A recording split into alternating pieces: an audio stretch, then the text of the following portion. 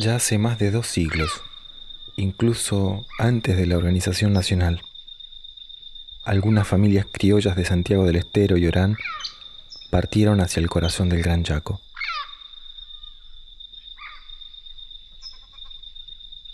Avanzaron más allá de los fortines, adentrándose en los montes del Chaco Golamba, conviviendo con el indio y adaptándose a las duras condiciones que les imponía el paisaje.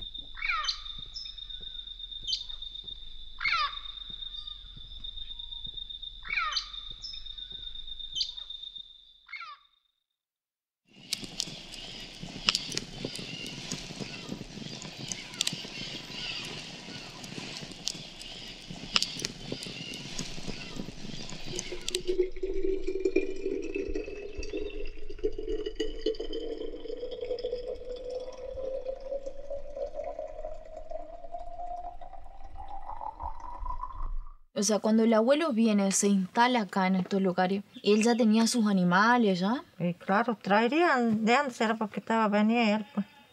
Que no de Grecia. Claro.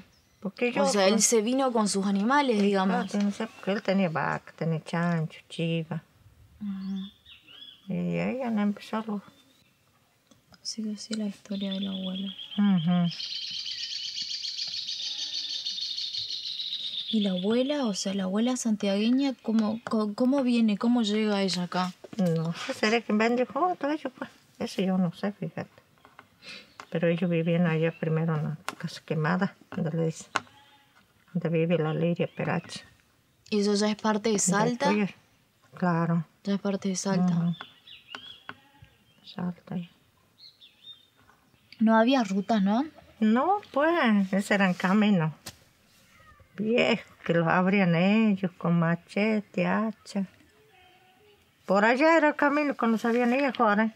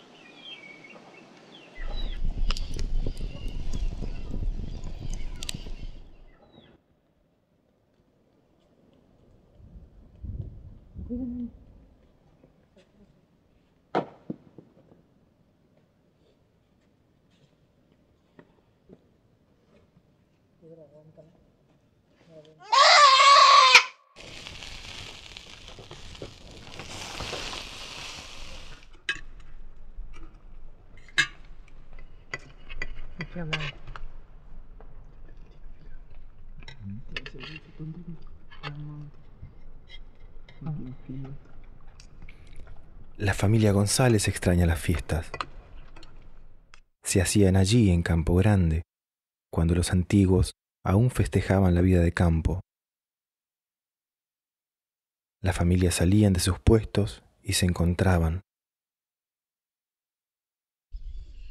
Campo Grande fue uno de los primeros parajes en ser habitados y un antiguo punto de reunión en el centro de la Florencia Oeste.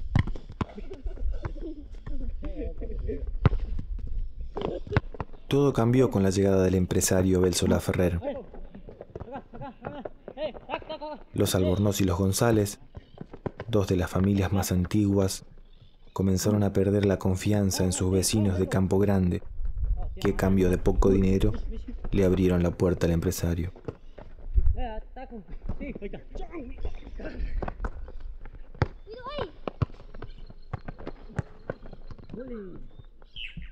Belsolá montó una fachada de un vivero de algarrobos con falsas promesas de bienestar.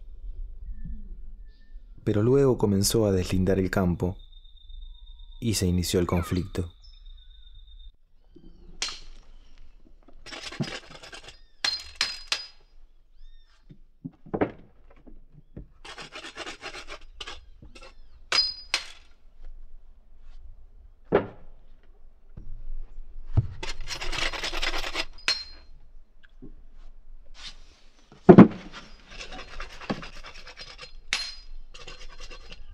Prácticamente, como te digo, yo me crié acá, pero con mi familia hace 30 años que vivo aquí.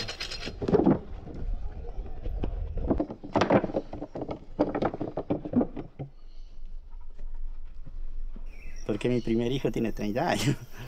Desde ahí, la gente, imagínate.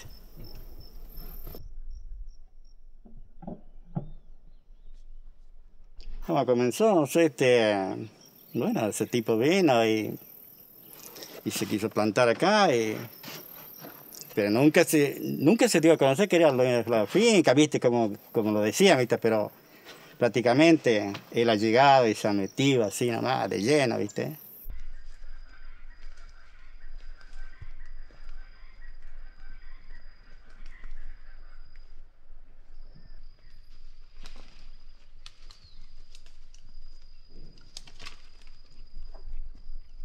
Porque él primero vino a hacer algunos enramaditos nomás. Bueno, eso no era. No era No afectaba mucho, ¿viste? Pero después ya vino. Un alambre, todo. Así que ya perturbaba a todos los animalitos. ¿En dónde andaban comiendo los animales?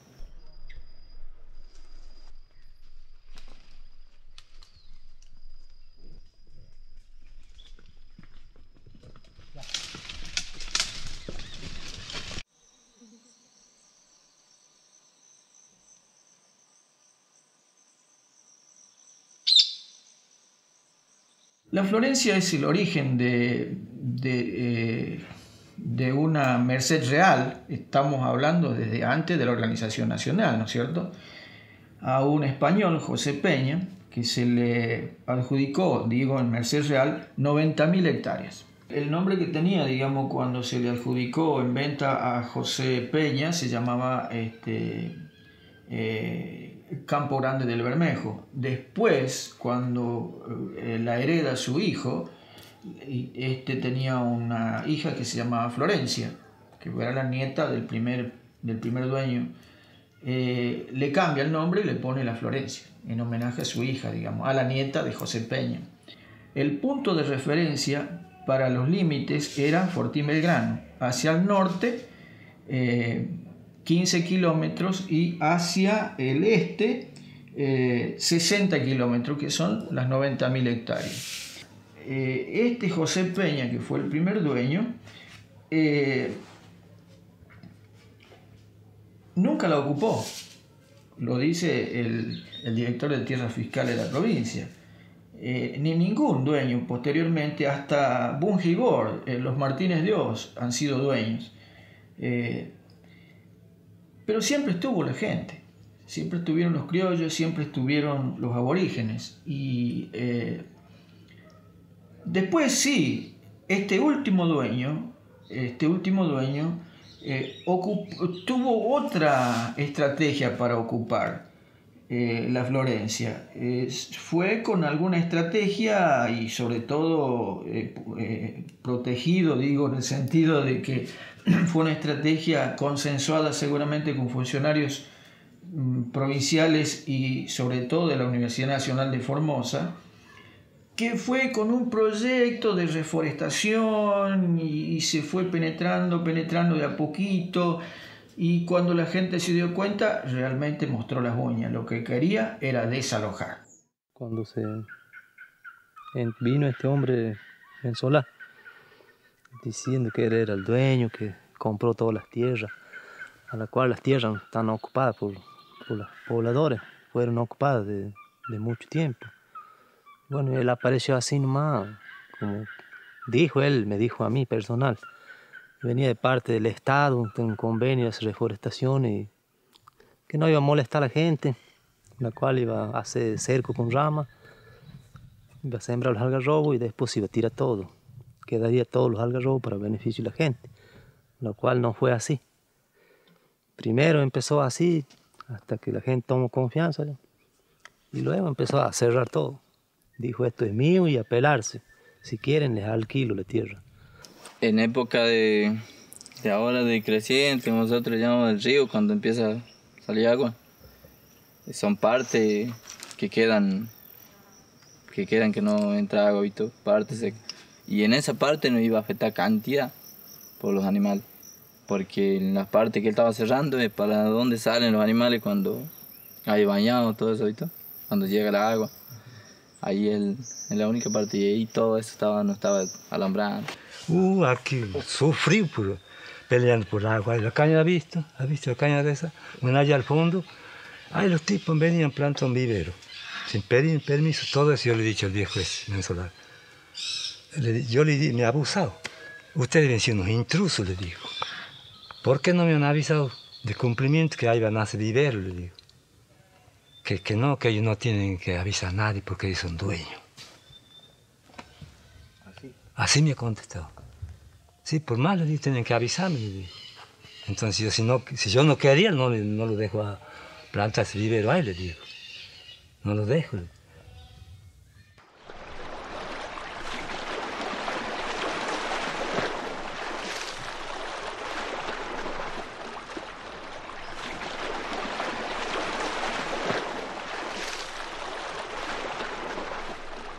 Las familias se adaptaron al carácter caprichoso del Bermejo, sinuoso y cambiante. Con las lluvias de marzo y abril llega la inundación.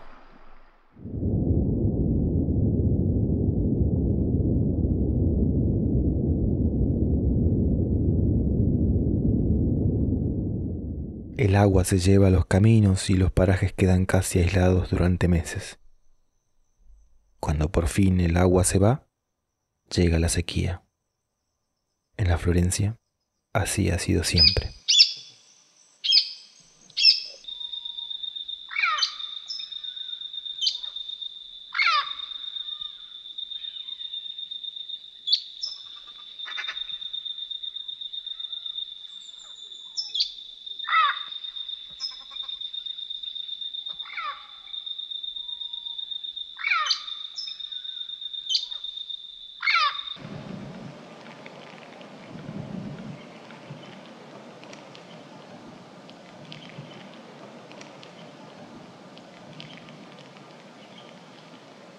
Rosario.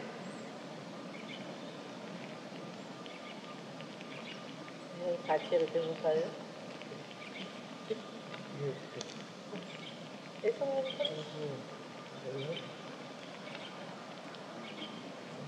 Bueno. Bueno. Chao.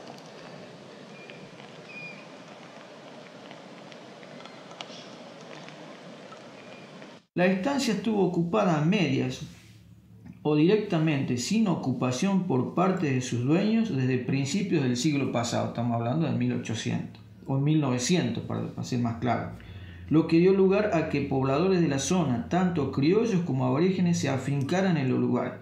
No obstante, durante todas estas décadas el campo fue vendido varias veces, siempre para especulación financiera y para hipotecarlo en bancos de Buenos Aires. La Florencia fue siempre esto.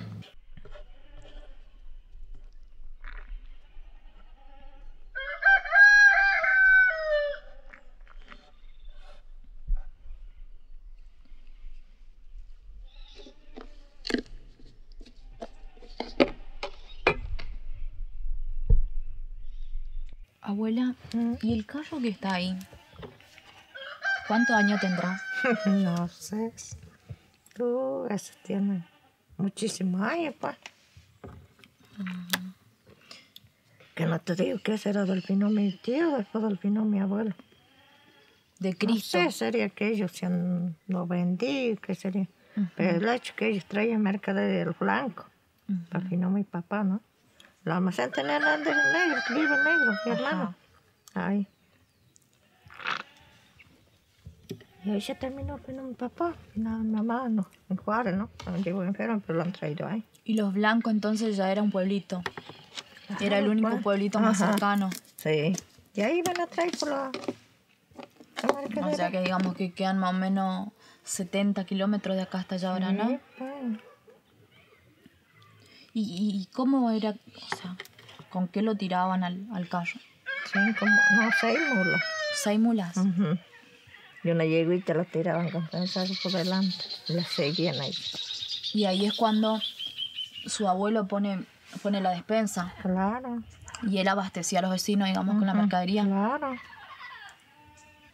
mucho, iban mucho aborígenes a la casa de él, ¿no? Claro, vivían en armonía, digamos. Uh, hacia, hacia cerco. Con él eran de más buenos los aborígenes. Ya casi está, debe ser que están terminándose ya. Claro.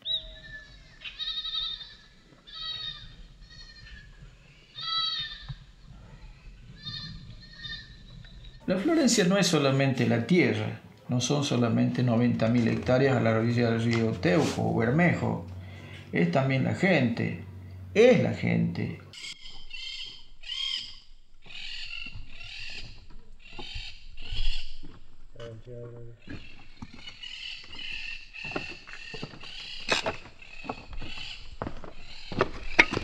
Soy Dalmacio Albornoz, de acá de la Florencia. Soy nacido y criado acá. Una descendencia que de hace rato ya. eh, Sandalio Albornoz llamaba el, padre de Rosa Albornoz y Rosa Albornoz, padre José María Albornoz, José María Albornoz, padre de Alejandro Albornoz, mi papá.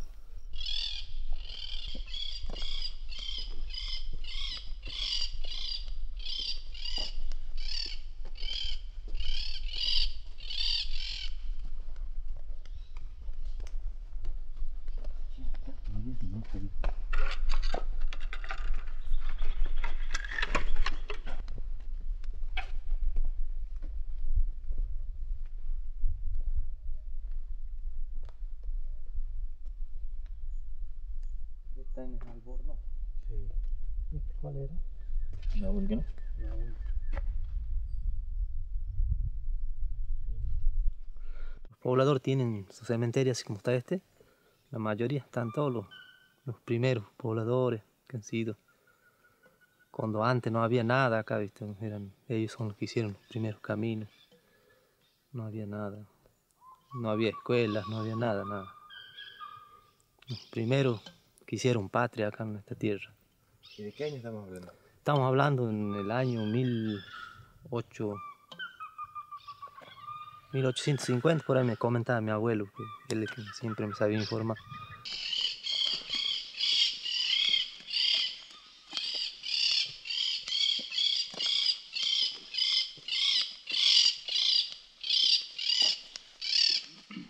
Alejandro Albornoz ya. El lugar es Pozo Luciano. Allá donde se terminan, ¿viste? Esos árboles, ahí el vivero, el bordito. De, de ahí antes alzaba el lago.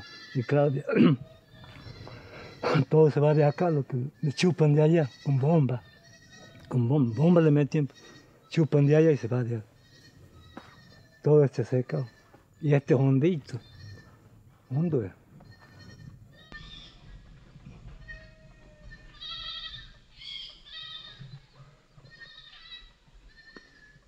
Y bueno, digamos que estamos en abril, ¿no? bueno, pongamos mayo, junio, julio, agosto, septiembre, octubre. Cinco meses, seis meses, ya va a quedar sin agua, seguro. Si no llueve más, ¿no? Una de esas llueve a fines de este, pues así va a durar más. Y si no llueve más, ya seis meses, cinco meses y medio, ya va a quedar sin agua. Entonces, ¿qué pasaba con sus animales si ellos les sacaban el agua? Y se iban a los madejones, se metían a los pantanos. Y, aquí también porque era pántano, ahí morían, todo es que era pántano.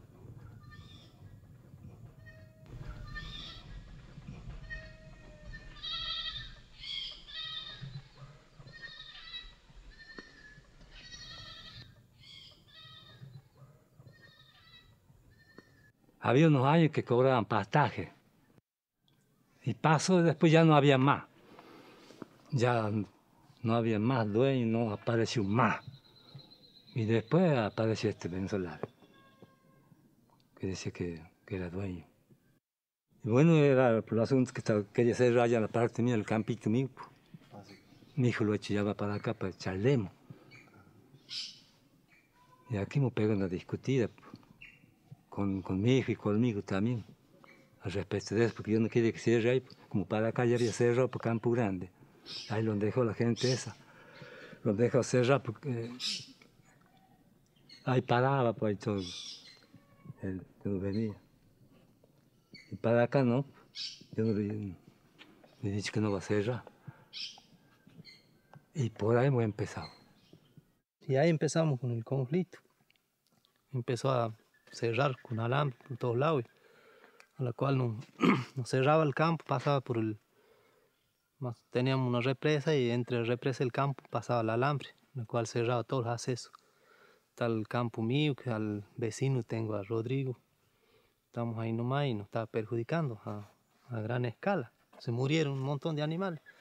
Hacíamos las denuncias, no, no había forma de... no le daban curso. Y ellos inventaban causas y las cuales, un montón de causas inventadas que le daban curso inmediatamente. Y empezó la persecución. y bueno, los personal que tenían se manejaba, decían, ya los vamos a meter presos para que dejen de hinchar las pelotas. La cual nosotros reclamamos nuestros derechos, ellos nos querían meter presos. Y bueno, aquí la policía venía a, a atacar, como le digo, que yo en mi vida he visto que ataquen sin tener causa uno. Cuando entra, él empezó a pillar a, a las mujeres, el, dos muchachos que había también. Lo han pillado, lo han esposado, lo han llevado en la camioneta. Y a las mujeres no las han llevado. Era un desastre. Tenían chicos, chicos. Lloraban los chicos. Y los han llevado, los changos dos. A mí no me han llevado, no sé. Hemos peleado. Yo les he peleado con los otros también, pero igual los han llevado. A mí me han dejado. Todo eso ha ocurrido. Aquí hemos sufrido.